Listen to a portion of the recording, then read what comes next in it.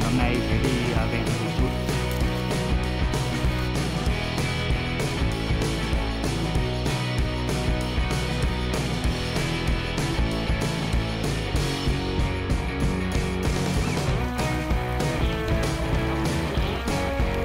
tôi đã đến à, điểm nghỉ của ngày hôm nay. Sáng giờ chúng tôi đã đi được 28 km và đi trong à, 3 tiếng đồng hồ.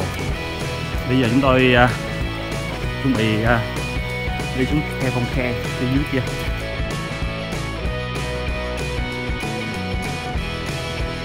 Và hôm nay tôi lại tiếp tục hành trình, đi theo chân các anh kiểm lâm để đi ờ, tuần tra và đi tìm kiếm loài sao la quý hiếm mà rất là ít người được thấy.